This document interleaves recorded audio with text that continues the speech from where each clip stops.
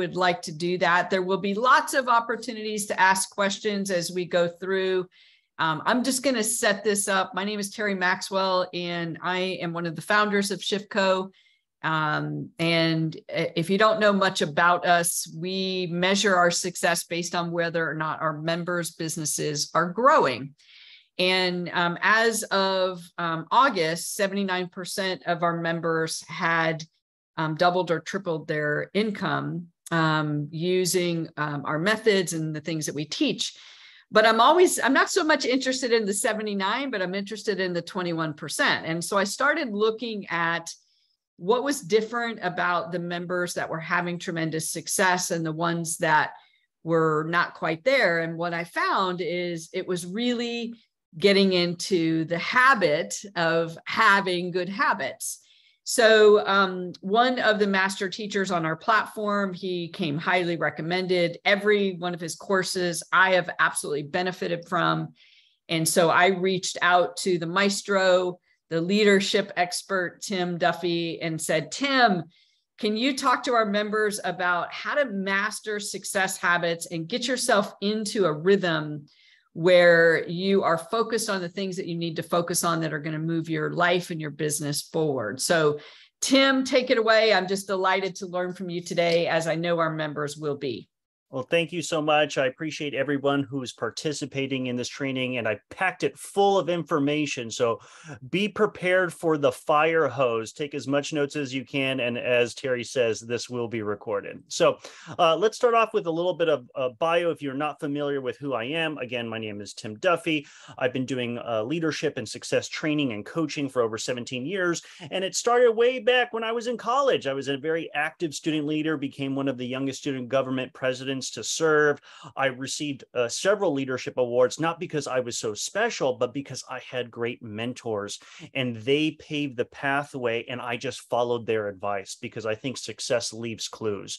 And after a college, I wanted to make a difference uh, in, in my community. So I worked in government for several years. But while I was doing that, I went back to my college, uh, Queens College, City University of New York, and I love just training the future leaders.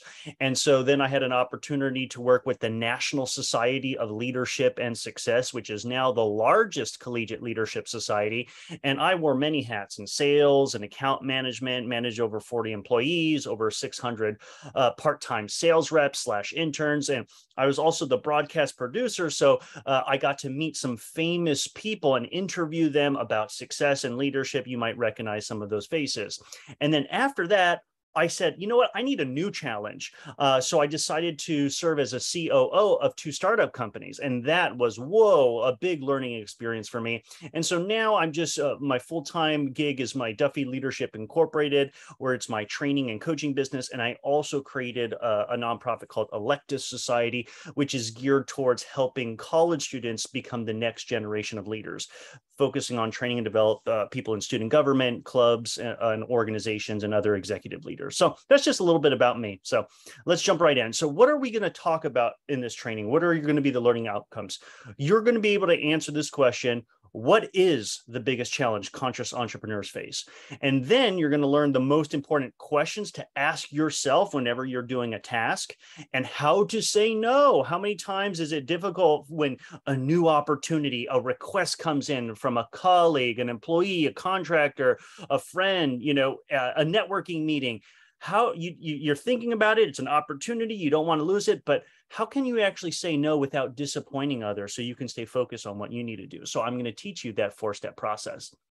And then i'm going to talk about three successful management tips so that you can get more done because God knows I know how much your to do lists are, and it probably keeps adding and growing. And because this is a training that's already in the core, I'm going to be covering concepts from module one and module three. But what I'm not covering here, which unfortunately, just because of the sake of the time, is module number two. And in module two is a life changing exercise all about this topic that we're going to be talking about. So write it down, put it in your calendar as an agenda goal go back and watch module number two and complete this exercise. Uh, it, it, will transform your effectiveness. And then we're going to be talking about uh, the habits of the most successful entrepreneurs.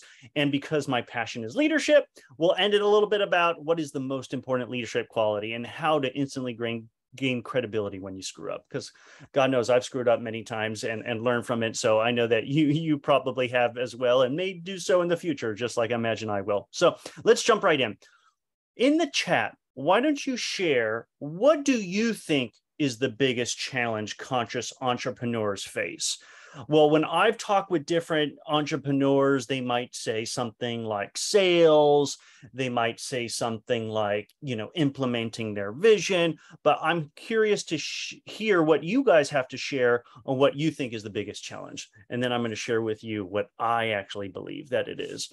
Was there anybody who'd like to share or post it in the chat what they think that is? I'll give a moment.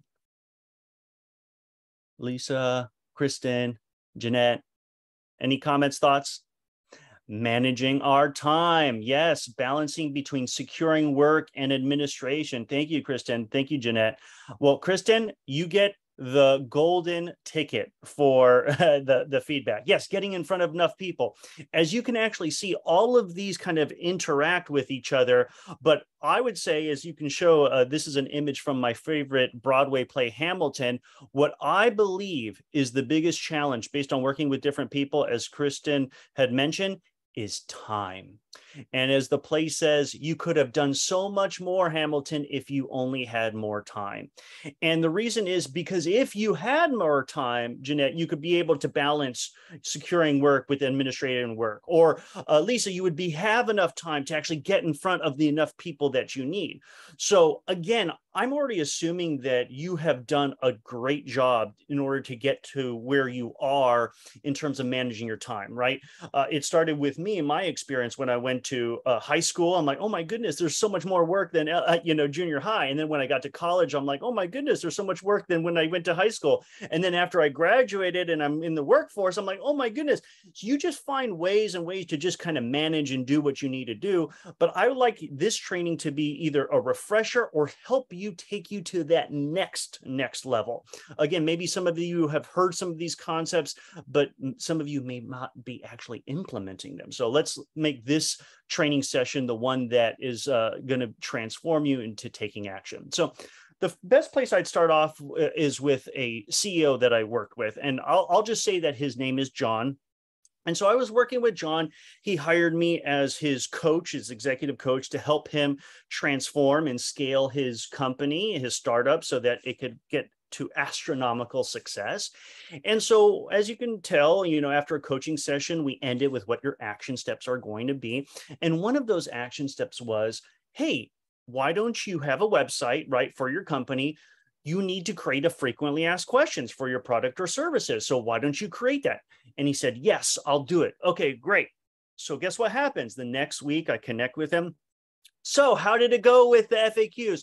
Oh, Tim, you don't understand. I got this uh, uh, agenda item on my plate. A family member needed me here. And then, oh my goodness, I had this contractor or partner reach me about this opportunity, which was urgent. So, I, again, I didn't have time to actually do this activity. I said, okay, got it. So what can you put in place to make sure that you, you know, make sure that gets done? Oh, yes, definitely. I'll make sure that I do it. Guess what happens the next week, right? Nothing happens. All right, come on. What do we got to do? We got to make this happen. We're not going to move forward unless we do it. And so, as you can tell, the pressure is starting to build. I'm holding him accountable. And by the third time, I'm like, you got to work on this FAQ of this website. So I check in with him and guess what he did? He's like, Tim, you're going to be very proud of me. I worked on the FAQ. Not only did I work on the FAQ, I spent all night working on it. I'm like, all night? Why are you working all night? He says, because our uh, website is in WordPress. And so it, it, was actually all wonky and I had to learn WordPress in order to make adjustments. And I'm like, well, did you actually do the FAQs? He's like, no, I started putting the FAQs, but then guess what? I recognized as I started rereading them, I needed to change some of them. And so guess what? I, I fixed some of the questions, but a lot of the other questions that I needed to to still do. So it's not completely done, but I made great progress on it. And I said, John, how much time did you spend working on this FAQs and this WordPress of the site? He's like, Well, I pulled an all nighter. I spent about 15 hours. I said, 15 hours? Are you serious? I said, Oh my gosh. All right, John, listen to me for a second. Right now, you actually can quantify and value your time. You're the founder of this, uh, you know, of this startup. You're the CEO. How much do you think your time is worth? All right, let's just do it for simple math. Maybe your time is worth $100 an hour, maybe $200 an hour. Okay, so $100 an hour you spent 15 hours on an FAQ for a website and it's not even done. Okay. That's $1,500. And I said, that is not smart. you could actually build out, write down all the FAQs, hire somebody on Fiverr, you know, have them post up the website. And guess what? I did that myself. I created a website. It took me about five hours. I used GoDaddy, used the template and everything like that. And guess what? Boop, I, I uh, submitted up. He said, "But what about all the changes I needed to make? I had to make it perfect. It, it was it was not the right language." And I said, "Listen, this is something that I had to learn working with different successful uh, CEOs. Is that there's a, a, a kind of bug inside of them that everything has to be perfect. But guess what happens? Perfection is the enemy of the good. You can spend so many times being perfect, being perfect, being perfect, while somebody else puts something on the website and is not perfect and is going to get further than you are right? And here's what uh, I shared with him. I didn't want you to think that I don't care about excellence. I definitely do. But guess what's going to happen? If you could just hire that person or do that or put that up on that that website just get it up there guess what's going to happen? The next time a week from now two weeks from now you're going to look at your website and you're going to say oh my goodness i need to make some edits. And then you'll make those edits in real time. Or guess what's going to happen? Like other uh, ceos that i know all this work that you put in there guess what? Within one or two months it's going to completely change. You're going to get a brand new website. So again the whole purpose of this story is you know, you could have spent those 15 hours doing sales calls that could have actually been bringing revenue in. So really has to do with your time management and what you're focusing on. So I basically have encountered a lot of successful entrepreneurs and unsuccessful entrepreneurs and one of the things that they like to claim themselves to be is workaholic martyrs, okay? What is a workaholic martyr? It's a person who interacts with everybody and likes to share with them how busy they are. I don't know if any of you follow into that category, but I used to do that myself. Oh, I'm so busy. I'm so busy. I'm so busy. And guess what that does? It makes you have an excuse to not follow up with people, to not get back to them. You get to wear this as almost like a shield or pride of look how busy I am. And guess what? It's not productive. You're not effective. And you end up burning the candlestick at both ends. You know, uh, there's a famous management line that says if you want the job done, get give it to a busy person, right? Because they know how to prioritize. They know how to get things done. When I, you know, I as I shared with you before, I manage over 40 employees, over 600 sales reps. And listen, we were able to break sales records, but time after time, whether it was part time interns, sales reps, or whether it was full time employees, I'm telling you, this issue of time management kept popping up in my face. And I would work with people like you're going to do in this training, as well as if you do module two and do this exercise that's going to really transform your life. I've had C players become A players and get promotions because they implemented these tips that I'm about to give you. So, again, I'm assuming that maybe some of you have heard of all the different You've heard the word prioritization. I've heard it. How many times? I even heard it in college. Don't forget to prioritize. But it's easier said than done. I remember reading Stephen Covey's Seven Habits of Highly Effective People, and it talked about creating a grid of what is important, not important, but what's urgent and not urgent. And you have to focus on these kind of things. If you've ever read the book, you know what I'm talking about. Again, I think that's a useful tool. Other companies, organizations may have their own prioritization tools. I like this one. All right. You just need to ask yourself whatever is on your to do list, because I know that each one of you has amazing ideas. I know that you have a vision of, I could do this, I can do this. Just start writing them all down. Have a spreadsheet. I, I knew my, my former CEO would have uh, a list of ideas that was over 200 long, uh, 200 uh, you know rows long. But guess what happened? He had a good manager and guided him and used this prioritization method ask yourself every question uh, in time you're doing this task. Is this in alignment with my goals and what kind of level of priority it is? Is it an immediate business need? Is it a significant business enhancement or is it nice to have? And you have to really just filter it out based on all those three categories. And i'm going to give you an example. So let's just say for example this the ceo i was working with was john and John would say, "Oh my goodness, Tim, we I, I need help. We need to actually update our sales flyer for this product or service or solution. You know, we need to make it uh, update it. So we're going to use this as a tool to actually sell more, right, of our product and services.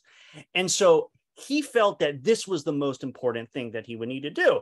All right, I'd go along with him. All right, let me help you do that. Let's do that he would update it, right? And then suddenly he would want to work on something else. Oh, I, we have this other product or service. Why don't we work on that? We need to create a new sales flyer. That I'm like, whoa, whoa, whoa, whoa. We just spent all this time working on this one sales flyer and now you already want to jump to we haven't even sold anything with this one yet. Why are we jumping into this one? So again what i'm trying to share with you this is a pattern right? A lot of uh, and and i'm going to talk about at the end some of the other trainings that i've done with ShiftCo which is high performance communication knowing your personality type. This ceo and entrepreneur that i'm talking about fits a certain uh, archetype of a different personality right? Always seeing the opportunity easily excited and motivated by other things so I said, listen, you have to basically prioritize everything into these three categories. Okay, is updating a sales flyer an immediate business need, significant business enhancement, or nice to have? An immediate business need, I explained to him, is something that puts directly money into your pocket. It's the bottom line revenue of your company, your organization, or it's something that you promised to deliver for your customers. For example, uh, if the website is down, it's an expectation that the website needs to be up in order to service your customers or be able to be up. So that would be suddenly an immediate business need. A significant business enhancement will actually, tr- you know, make a big difference. So if you didn't have a, a, sales flyer, then yes, maybe that might be a significant business enhancement that you need to do or need to accomplish, right? But how have you been making sales calls before? Have you been picking up the phone? Maybe it's not as necessary to have a sales flyer, or maybe you already have one, but a significant business enhancement might be, well, now let's make a, a video, right? That will actually significantly get more people instead of reading everything about what we do, they'll have a short one to three minute video to learn about our service. Okay, that might be a significant business enhancement. And then the last thing is a nice to have is it's nice. And unfortunately, a lot of conscious entrepreneurs are very passionate about different things and they want to focus on these level three priorities, these nice to haves. And so if you could just ask yourself, does updating that sales flyer is that a nice to have? Like you can't stand it. It's so long. You got all this feedback from from your customers saying this needs to change. This is not accurate. But guess what? Is it really going to make a big difference? Is it going to move the needle in terms of your revenue your company what you got going on? Chances are updating a sales flyer, you can actually still use it and it'll just be fine. So again, I hope that's very helpful. And let's just jump in to the next topic. So the next topic is how to say no. Now, if you're like me, I'm a recovering people pleaser. So I don't know if any of you in the audience are, are, are like that, that whenever somebody tries to make a request of me, I feel you know it's just to say no. It's almost like a form of rejection. But it wasn't until i learned in my studies how to actually say no. And so there was a four step process. And i'm going to tell you what it is right here.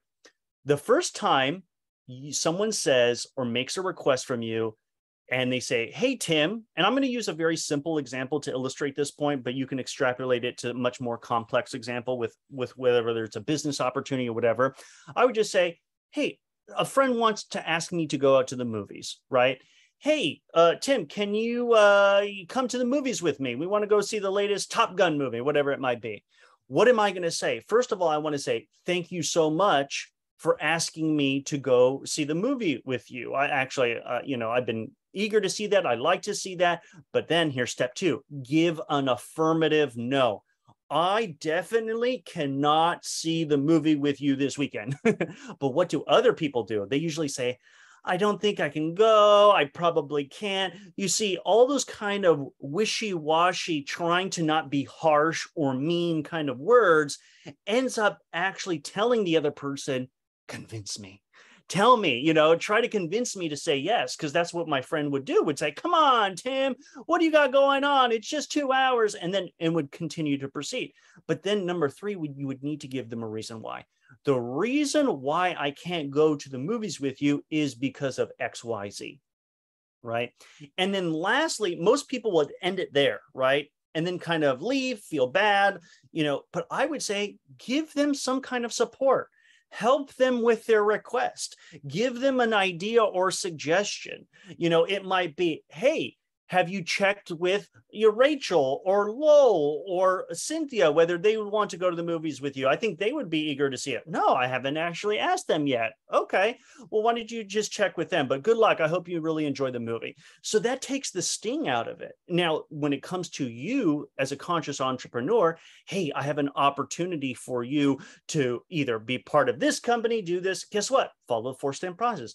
Thank you so much for the request. It means so much um, to me that you've asked me or thought of me for this opportunity, but I definitely cannot take advantage of this opportunity. And the reason why is I need to stay focused on my priorities, which is my business, my enterprise, or this product or solution. And I can't be distracted or focus on anything else right now because I have to achieve or hit my goals. But you know what? I wish you the best of luck here's a contact information of another individual that I think would be great for you. I would actually research this company. I think these are the type of customers that you might want, but good luck with you, good sir. All right, great. Have a great day. And they're going to walk away saying, that person, you know what? They're very helpful. And that's all you really wanted to do the uh, first time.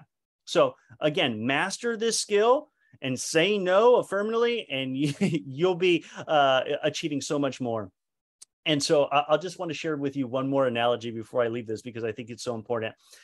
Uh, you know, using this case example of John and how you know he was easily distracted and wanted to do all these things. The analogy would be again, I'm a, I'm a big nature lover, so you know, don't don't be upset with me that I'm using this analogy. But imagine you're cutting down a tree, okay, and you need it for firewood or whatever it would be what many conscious entrepreneurs they say i need firewood. So they start chopping down the tree but then they see another tree. Oh let me start chopping that one down. Let me start chopping that one down. And guess what? You've started chopping so many different trees that the trees haven't completely fall down for you to make wood yet. So how much more effective would you have been if you said no to all those other trees and just focused on one tree boom, boom, boom, then go to the next one. It's nice, Kristen. I love it. I'm a tree chopper. Great, great. Uh, that's what we love to hear. So become a metaphorical tree chopper. Uh, all right. So here are three management tips that I'm going to give you. And this is what's really helpful for me in terms of mastering your time. Anytime you do a task, always assume double. Hey, in your mind, you say, I need to write that email. How long would that email take me? 15 minutes? Well, guess what? I want you to, uh, you know, to pretend that that email is actually 30 minutes. So what does that mean? If somebody says, Hey, Tim, can you do this? Oh, I just have to write this email. I wouldn't say, Oh, I'll get back to you in 15 minutes. I would say, I'll get you back to you in 30 minutes. I need to send out this email. Why? Is because things always take a lot longer than you actually think that they are going to take. Now, it may take 15 minutes if you were uninterrupted, had no distractions, but we're living in the world of distractions, right? You, your phone rings, your husband or wife calls you, uh, your kids may need you, um, you know, this person again, all these different things. Oh, maybe you're typing the email. Oh, wait a minute. I don't know about this. I have to Google search that. So you didn't anticipate that you needed research before you could answer that email. So again, this is a cycle. And so that's what you you assume double. If you think that this job is going to take you, you know, 6 hours, yes, assume that it takes 12 hours because you've already planned buffer time to make sure that it happens. So the second principle of time management is live by the calendar you die by the calendar. Now that seem may seem extreme. Whenever i i talk about this with people they say yeah but tim aren't you just living your life all by the calendar and you have no freedom? No it's actually the opposite. Once i embrace this that i live by the calendar and i die by the calendar i tell my wife i tell my friends if it's not on my calendar it doesn't exist and so uh, when I first did this training back in February 11, 2021, I actually did an actual screenshot of my calendar. This is what it looked like. Now, uh, again, I have I have five animals, three cats, two dogs. I got to wake up in the morning, feed them, and then I work out. I have to take the garbage out on Thursdays. Well, guess what? Notice how I actually accounted for 30 minutes for garbage. Tim, does it really take you 30 minutes of garbage? No, it's because I'm operating from the principles that I'm teaching to you and everyone listening that it takes me less than 15 minutes, but I assume double because guess what happens? I go to let out the garbage and then I realize, oh, I have to do the cans and the recycling. Or, oh, what if the raccoons knocked that up? I didn't anticipate that I had to clean up all the different bottles that are on the floor. So, as you can tell, things start to add up. So, you plan that buffer. Uh, and then, as you can see here, all my schedule, I still have some areas of blank that could be filled in but this is how I live my life. This is where my focus is. And it just, you know, with this discipline, you're going to get so much freedom. Now, some people say, well, Tim, should I use uh, the Google Calendar? Should I use a handwritten calendar? It doesn't matter. You know, I think that you, as long as you choose one method and you stick to it, it can be transformational. I think that there is an advantage if you can fall in love with Google Calendar like I have, that it's so much easier when you actually go to the doctor's appointment and they say, let's book an appointment. I pull up my phone since we all have our phone to put it in the calendar, put it in right there. That way it's more instantaneous. I don't know if you're going to carry around your agenda book everywhere you go. And w- what happens if you lose it? Again, I like the idea of efficiency, going things to the cloud. So if if you can end up adopting that, even if it's uncomfortable for you, my recommendation is to do so. And then the last thing, and I it, this has to deal with human nature. People are not responsive. People do not follow through with what they say they're going to do. Uh, you know, I, I learned this concept doing sales, working with all these different companies and different organizations and schools and things like that, administrators, is that anytime you need something, you can't just anticipate that it's going to be accomplished. You actually have to anticipate that people are distracted, lack focus, that they're not as disciplined with you with, with request your time. And so therefore you would just have to build in constant reminders. And I learned this as a manager where uh, I remember some managers getting so uh, upset with their employees to say, you know what, I told you once, I told you, I don't have to repeat myself. And I said, you know what? That's coming from ego. All right. Employees are being asked to do so much, so much responsibility, more in less time. As a good manager, I would say, no, I would basically say it verbally. Then I would send it out in a written format to remind them. And guess what? If I'm putting the deadline in my calendar, uh, I would actually include that deadline as an all day event in my employee's calendar or my contract calendar. And I remember one of my other colleagues say, you know what, Tim, aren't you babying your contractors or aren't you babying your employees?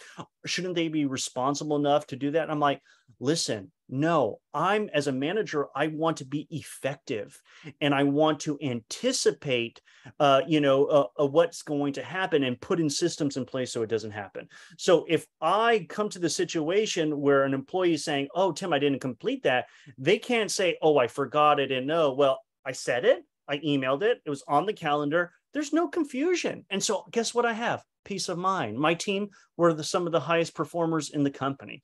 And so that is because I already assumed that anytime I had a deadline or anything like that, I assumed that I needed to send out reminders and do what I need to do, especially if it was very complicated. So I hope that's tip uh, is, is very helpful for you.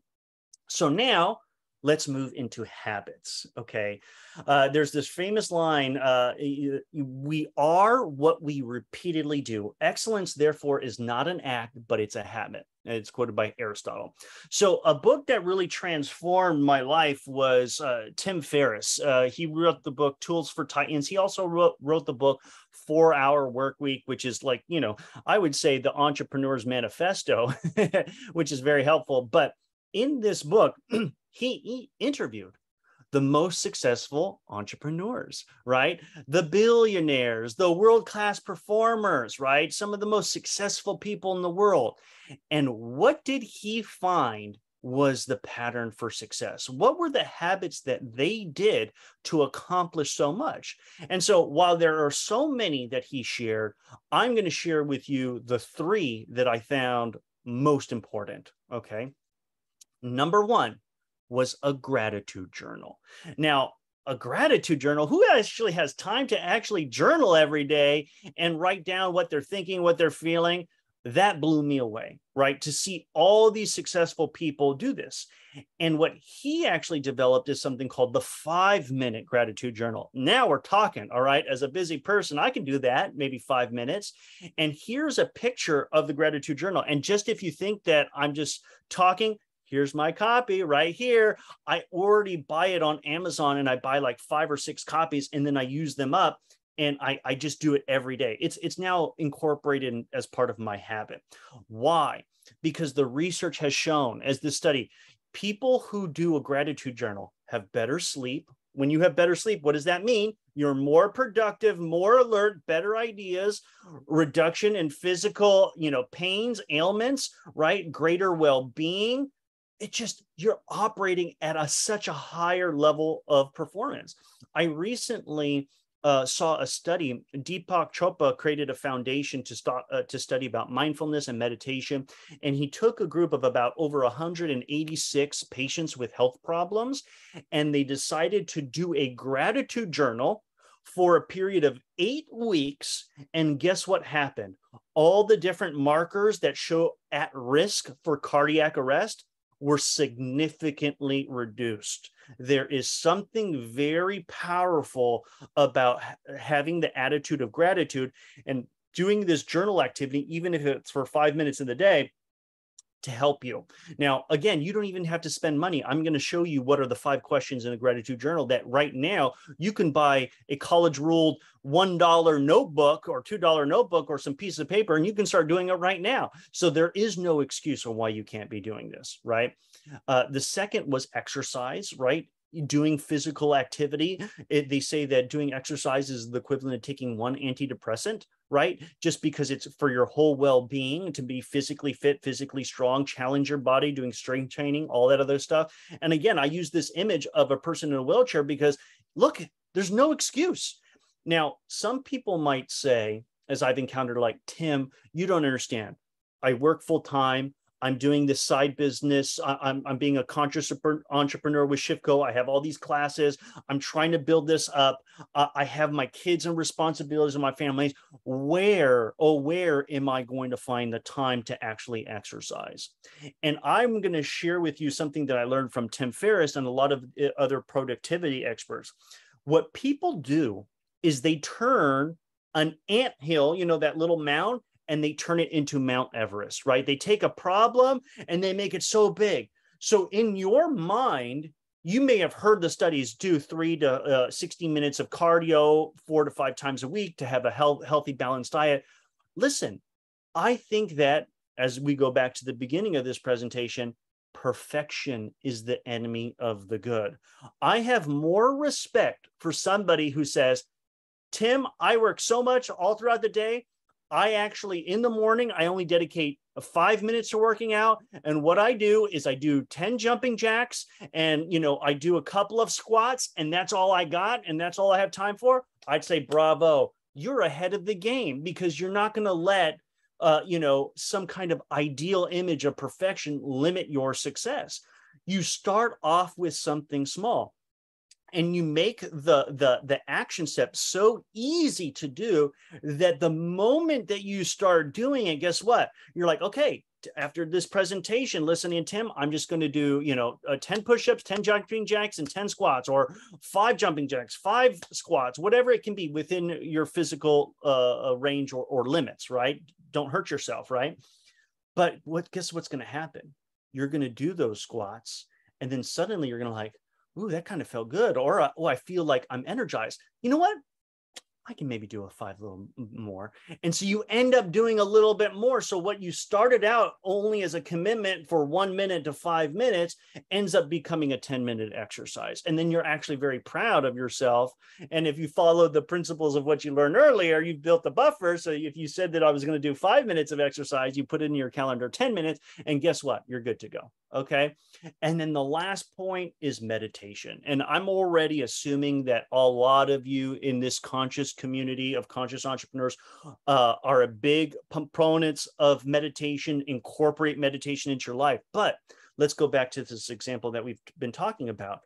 Are you trying to put an ideal on your meditation. You're like oh my goodness i'm supposed to meditate for 30 minutes a day uh, in the morning or at night and then you're not able to do it and then kicking yourself in the butt i wish i did had 30 minutes. Well guess what? Just like we did with exercise just like the five minute journal there's no reason why you can't do five minutes of meditation. And if you're saying, Tim, you don't know me, you don't know my schedule, I said, there's no reason why you can't do one minute of meditation. And that means simply closing your eyes, taking deep breaths in and out, imagining white light hit your forehead and your heart, and you're done. Okay guess what's going to happen? You do that for one minute, you're already going to feel a transformation. You're already tapping into the universal consciousness. You're already going to find out that you have better ideas. You're going to be more focused. It's, you know, uh, I like to say that that you know we need to take baths and wash ourselves in order to stay clean every day well guess what you need to meditate every day so you can actually bathe your brain you know with all the negative thoughts and all the outside stimuli all the news like you need to be able to connect to that higher source so that you can start off the day right so that's what my challenge to all of you is do five minutes, breathe your brain. Thanks, Terri. Uh, you know, five minutes of gratitude journal, five minutes of exercise, five minutes of meditation. You got 15 minutes. And if you tell me you can't, then promise me this you'll do at least one minute of each and so what i wanted to share with you right now is what are these five uh, questions that uh, are in the gratitude journals now every journal is different. Um, the one that I have has basically here are three questions to ask you in the morning, and then here are two questions that you uh, have to ask yourself at night. And I've read a lot of the literature the, of the different, you know, speakers, experts on success. They do recommend having a gratitude journal to do this an entry in the morning and the night. But I don't believe in sharing something with you that I don't implement myself. So for me, what works eh, for me in my life, I just made the commitment to do it every morning, not every night. I do before I go to bed, I do a, a little meditation, which I think does help me. But here are the five questions, and I actually crossed them out and I rewrote the questions so that it applied to just do it every morning. So take a moment to feel free to write these down. Okay, the first question is reflect what were your amazing moments yesterday? okay, all right. I, I, took a wonderful walk with my wife. Uh, I, I, did a presentation with ShiftCo. You know, all these different things, and, and you start thinking about it. Like, oh my God, look how beautiful things that I accomplished that that day. And oh, I forgot what happened in the morning. You're already starting to vibrate at a different frequency, right? The second thing is how can I improve or make tomorrow better? Now, again, they would always ask this question is like, what could you have done differently today? I don't like that judgmental question of, of as if something that you did today that you did was wrong. No, everything happened exactly the way that it needed to happen but you could always work on what would you like to improve or, or, or you know or do better the next day that to me is a very positive uh, way to look at it the next thing is gratitude. What are you grateful for, right? All the different things. And then the fourth is your to do list.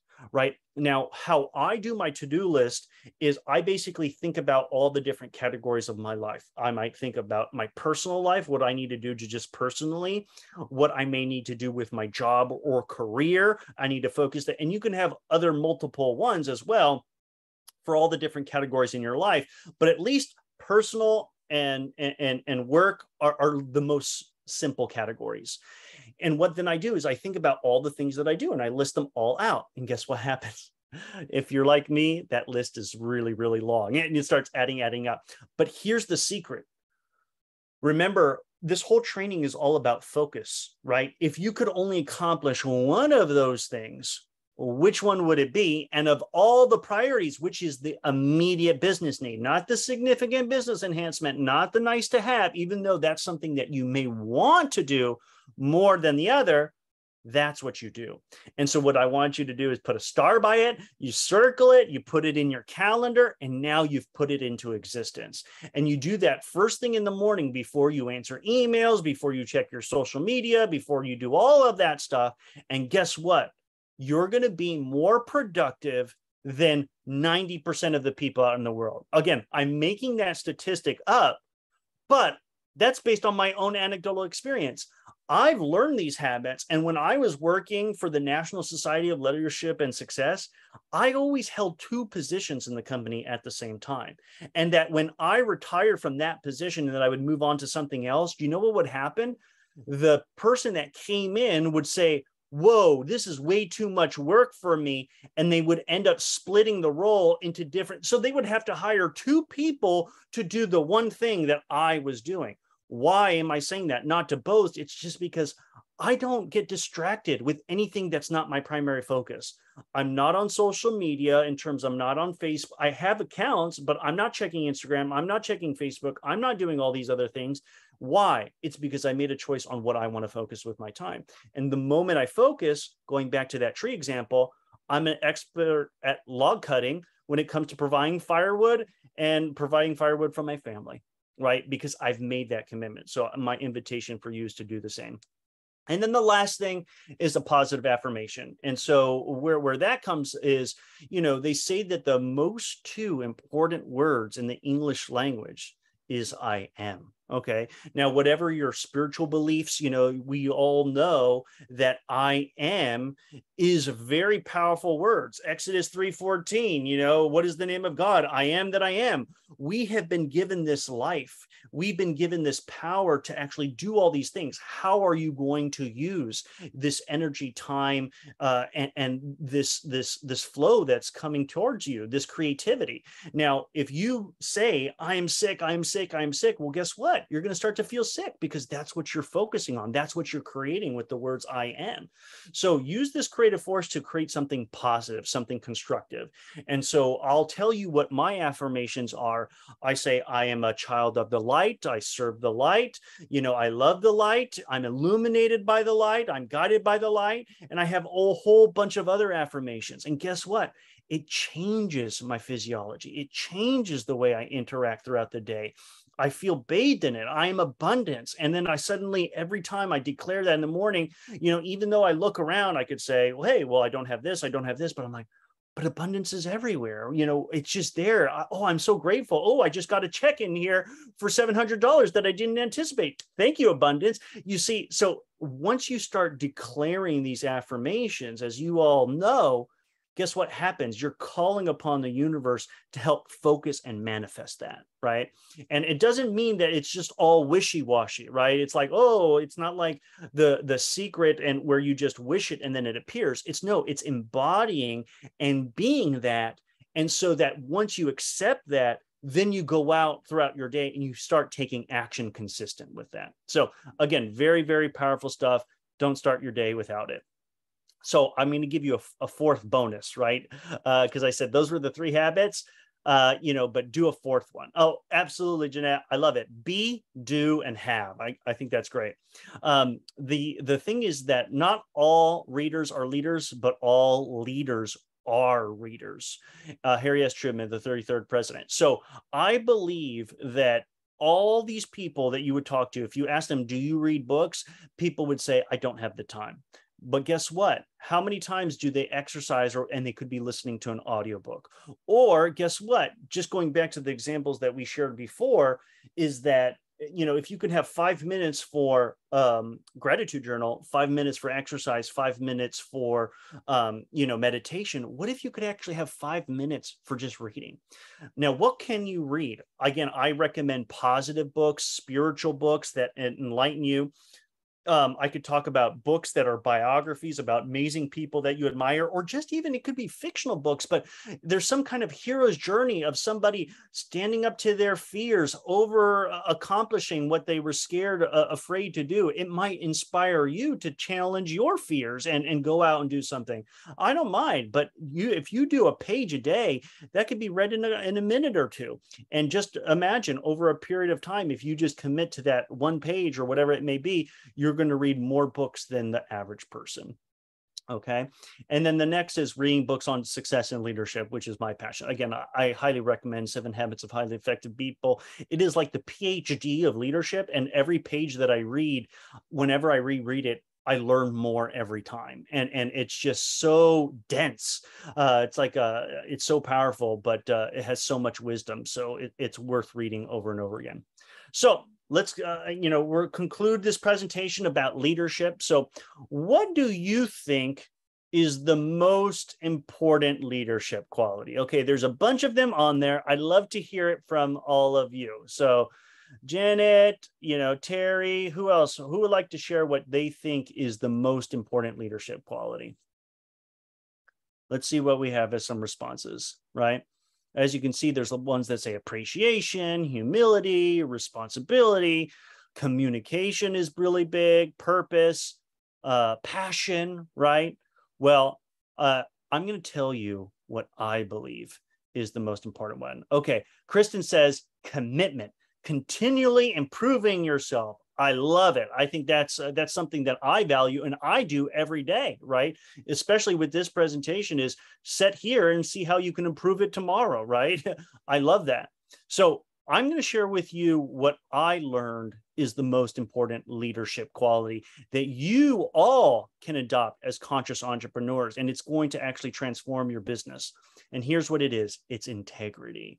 Now, when I first learned about integrity, I, I learned about it in college, and they would say, well, integrity is about having warm principles, being honest. I think that's what most people think integrity means. But what I discovered is there's an actual second definition to integrity, and that is completeness. It's the quality of being whole, sound, and complete, the quality of being undivided, and unimpaired. And so I love this cartoon where it's you see on the stand it says voters demand integrity from their election system. That means if I vote that it's going to be counted and everything like that. But then the person uh, says on the right, who knows, maybe someday we'll demand it it from the people we put in office. How many times do politicians say that this is what they're going to do and then they end up not doing it. Okay, this means being integrous with the words, with the promises that we keep. And I discovered that this was the most uh, important leadership principle by attending a landmark education. If you're not familiar with Landmark, I'll give them a little plug because I'm so grateful for the transformational education that they gave me. There's a three day conference, it's a, a little less than $700, and they teach you about integrity and all these other different things, uh, you know, beyond just integrity. But I was able to transform my relationship with my wife. Why? Because of integrity. I basically discovered how I was not in integrity with our my relationship. I cleaned it up. I apologized to my wife, showed where I was out of integrity, made a commitment to improve. And guess what? We were able to survive our relationship and it was on the brink of divorce. And so it was amazing. I loved their program. I'm like, I need more of this. I did their advanced program and then I did their four month advanced executive self expression and leadership program. And woo, I was hooked, right? Uh, because again, you know me, I'm really passionate about leadership. Any kind of tools that I can learn that I love to be able to share and educate everybody. Again, I'm giving them a plug, highly recommend them. But in that four month leadership course, and again, all this material is based on the great work of Werner Erhard. And you can go on YouTube and you can hear his different speeches and things like that. It's just a lot of just practical wisdom. But they said that integrity has different levels to it. And they taught me that Integrity is doing what you know to do, doing what you said you would do, doing a job completely, doing job as it was expected to be done, and doing it as it was meant to be done and doing it on time. I was like, whoa, that's a whole nother level of integrity. Can you imagine if you worked with your partner and you started doing what they expected of you and did a job completely and they didn't even ask you to do it?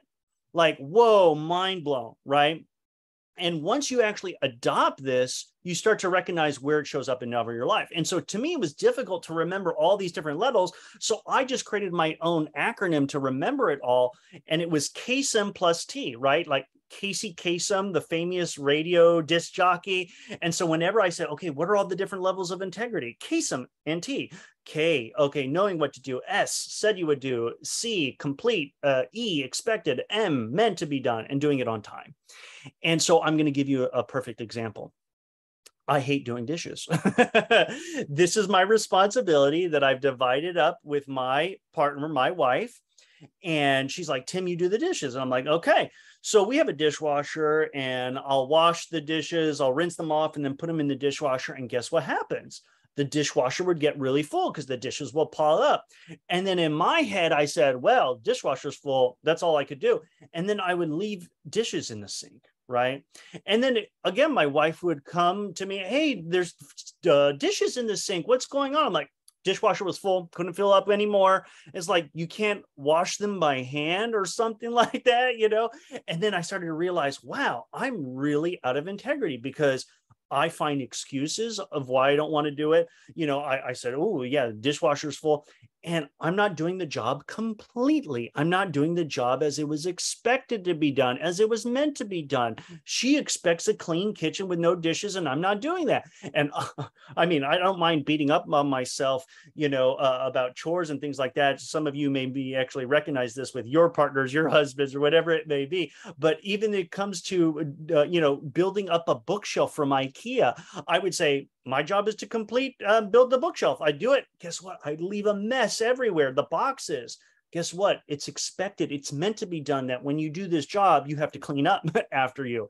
So how does this silly example apply to you on your business is how many times are you working with partners with customers with these individuals where they didn't ask you or you didn't give a deadline on when you would deliver this product service or solution but guess what?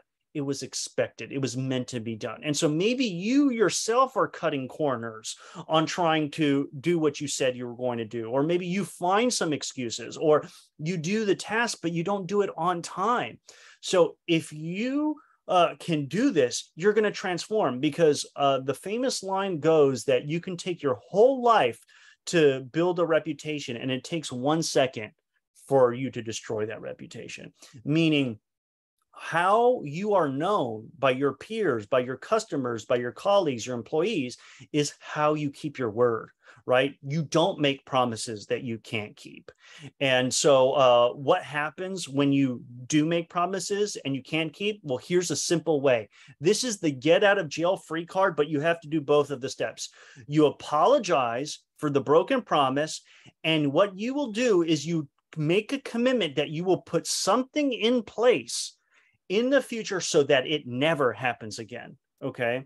And so I have worked with so many people who make promises and can't complete it. And then every time they say, Tim, I'm so sorry, I'm so sorry, it's like it almost feels like numb to me at this point because you know people are always apologizing for not following through with what they said that they were going to do that it, it it's just it's you get tired of it right?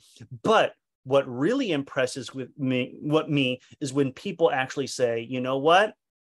Tim i said i was going to be here at nine It's now 905. You know what? What I'm going to do is what I'm going to put in place is I'm going to leave my house even earlier and anticipate that there's going to be traffic so that I'm making sure that I'm going to be on time. And if they do that and they tell me what they're putting in place as a system to prevent it from happening, I'm like, okay, I don't need to coach you. I don't need to manage you. You're self, uh, you coaching yourself. You know, you're self-regulating. You're my favorite person to work with. And how many times everybody who doesn't keep their word, usually, most often, has to do with these three things. They they made a promise that they couldn't keep. They didn't put it in their calendar. They didn't assume double. They didn't plan a buffer, right? And they didn't set alarms for themselves because guess what? We all get focused and we get easily distracted. So when I wake up every morning, this is my habit that I do. I say, What's my calendar? Okay. All right. I said this meeting, this meeting here. I tell SIRI, I'm just not saying it right now. I don't want to wake up the beast, uh, you know, artificial intelligence, but I say, set an alarm for this time, five minutes before. And then I, I do my call, whatever it may be. So I'm always on time. And then the moment I actually said, you know what? I set my five o'clock alarm, but I was still late. Why was I late?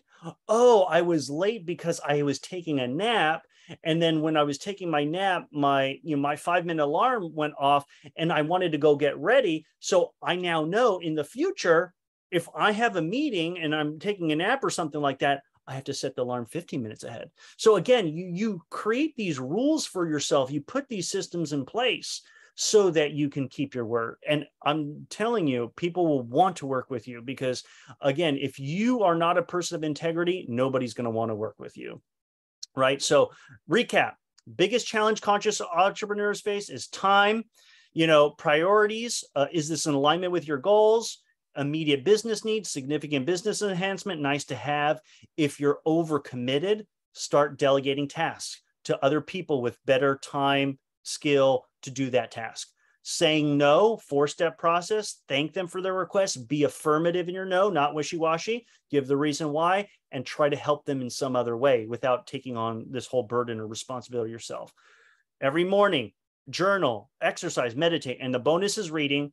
The most important leadership qualities integrity and being complete, and then know all the levels of integrity. This is to take your leadership to the next level. Do what you know to do. Do what you said you were going to do. Do it completely expected, meant to be done, and on time. And you're not going to always be perfect. You're going to be perfectly imperfect. And so, what you can do is always work to be better tomorrow by apologizing and putting systems in place to make sure that you uh, take it done. uh, thanks for the, the shout out and the clapping, Jeanette. I just want to highlight, I do some other trainings here with ShiftCo. Uh, on page three of four is high performance communication for conscious entrepreneurs. This is to learn what are the big five traits uh, of psychology says about different communications. And then we go into DISC, what Fortune 500 companies use to help uh, manage different people and learning those different styles, how to flex them and how to be more successful communicating with those different styles. And then this training was the biggest challenge conscious entrepreneurs face. But again, I definitely want you to complete that exercise. Uh, and this is a transformational exercise. So put it in your calendar as soon as you finish watching this recording, schedule about 30 minutes, uh, maybe about 15 minutes, but again, buffer it for 30 minutes uh, to do this exercise. And then the last training, which I recently just did for ShiftCo, and I want to give you this confession I think it's the most important training. Why? I actually have been managing people, you know, for almost two decades, and I've had bad managers, I had great managers, and managing all those people is how to actually delegate tasks to people. And here's what happens is sometimes people fail you, they will fail, but how to manage and coach them in such a way so that they actually perform at their peak performance. So that's definitely in step module two, so that they either shape up and perform at a higher level or they shape out. They're going to self select themselves out and they're going to want to leave because they're going to say, wow, such a good manager you are. You hold me accountable to such high standards that I can't take it. Right. And that's still a win win. So thank you all so much. If you really enjoyed this, here's my contact information. You can reach out to me at any time. Uh, uh, here's my phone number, email. And if you really love this training, please write down this assessment link uh, bit.ly 3HMMLPN. And uh, if you fill out a survey, uh, I will actually give you a free gift. It's a handout, a leadership handout on uh, what are the formulas for success in leadership. So uh, just a fun little thing that you might enjoy. So I'll take any questions that you might have. I really appreciate the time. Oh, you're on mute, Terri. That was a that was amazing, and I wanted to um, to share something with folks. That's a new enhancement. So in the core, there's now something that says our teachers, and you can go down right to Tim's profile and all of his courses as they get launched are right here. So you that's an easy way to get to them. And as he adds more courses, they'll they'll be right here. So I just wanted to show that because that's a new feature that we have for our master teachers. Um, Tim, that was absolutely amazing. I took notes. I've got a couple of to-dos there really, really, really appreciate you being a master teacher and being a leader in our community. So thank you so much. Thank you so much. Appreciate it. Bye, everybody. Bye bye.